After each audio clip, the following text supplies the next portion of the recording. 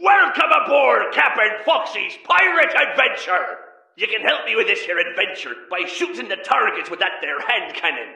Do your best, or I'll send you to Davy Jones's locker.